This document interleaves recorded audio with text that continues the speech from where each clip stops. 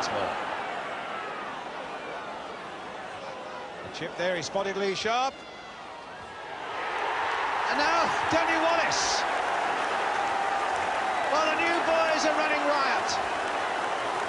Paul Ince with two, and now in his first game, Danny Wallace. Very fluently, McClair. Oh, Hughes is in here. Wallace is square and must score. Oh, well, he made it far more difficult than it need have been. But Danny Wallace puts United in front.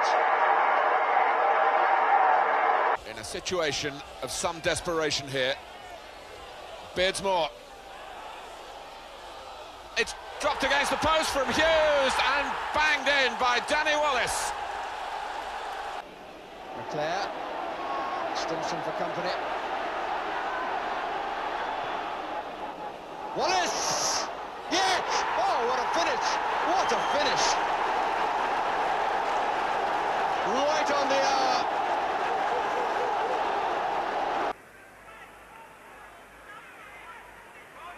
Phelan. Wallace. Robins wasn't so far away, couldn't get to it. Wallace came in. Hey by McClair. Useful for Wallace. Test of his pace, now test of his finish. And he's equal to both.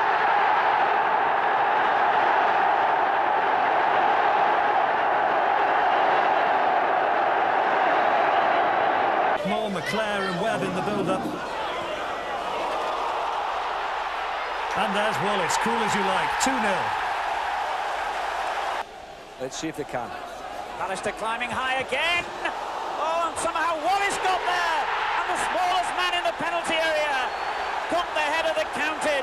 Touch. McLeod.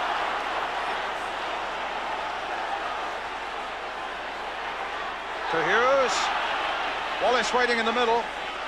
McClair's in there too. And it's another one, Wallace. It's six. The sky has fallen in on Arsenal tonight. As Danny Wallace makes it goal number six. United push forward. They're difficult to beat at the moment. Only one defeat in 12 games is proof enough. The rejuvenated Danny Wallace.